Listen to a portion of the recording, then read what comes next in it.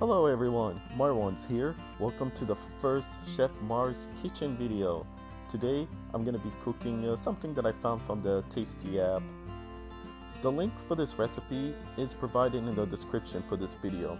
Right now what I'm doing first is cooking uh, the onions with the olive oil until they're soft and then we could add the chicken. For the recipe they just said you could add salt and pepper to the chicken but I wanted more flavor so I'm adding black pepper in there along with the salt of course. And then I'm gonna be adding onion powder garlic powder as well. And last but not least I will be adding my most favorite Italian seasoning. I love this stuff.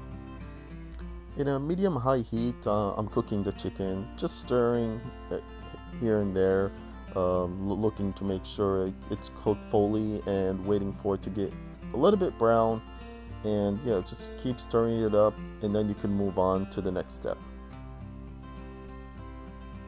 Look at that bad boy. It looks good already. And it smells fantastic. Then shortly you're gonna add garlic.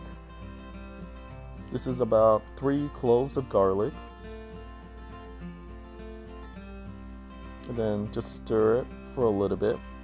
And then we're gonna let it cook for an additional minute.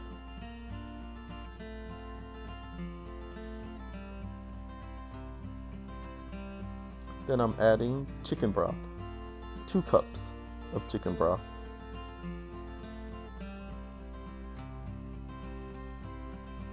This will elevate the flavor as well. And then uh, pouring the entire package of the penne pasta. You could add obviously any pasta you like. Then just give it a nice stir, like so.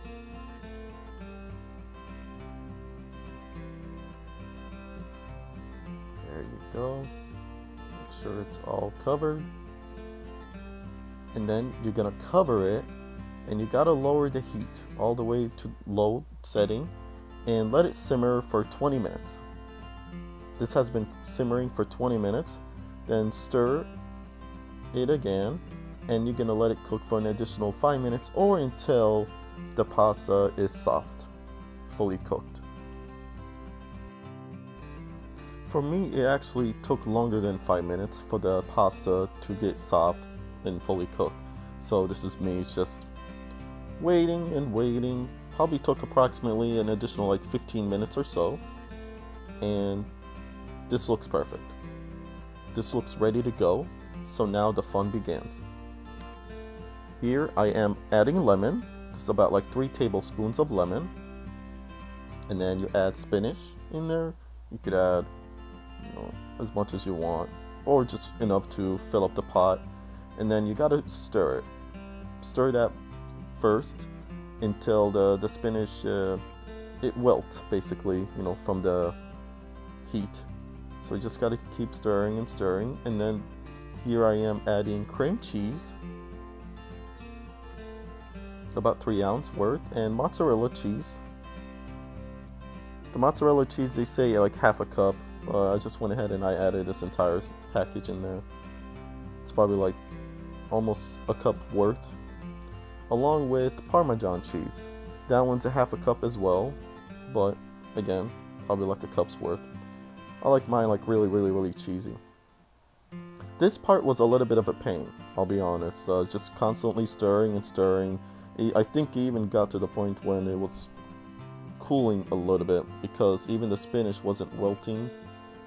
But I kept at it. I even turned up the heat a little bit, just like on the low setting to help. But you just gotta keep stirring and stirring. Look at this. Look how amazing that looks right there.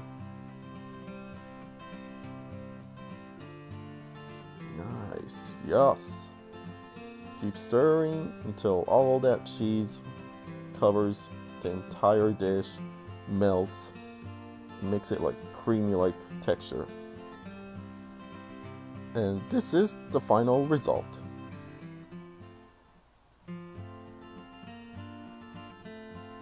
That looks so good.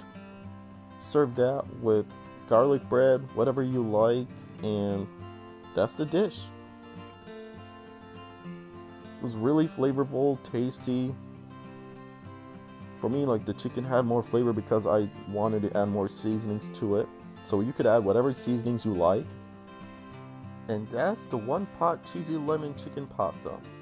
I really enjoyed it, the fam loved it. I hope you will like it as well. Thank you so much for watching. Take care. Bye.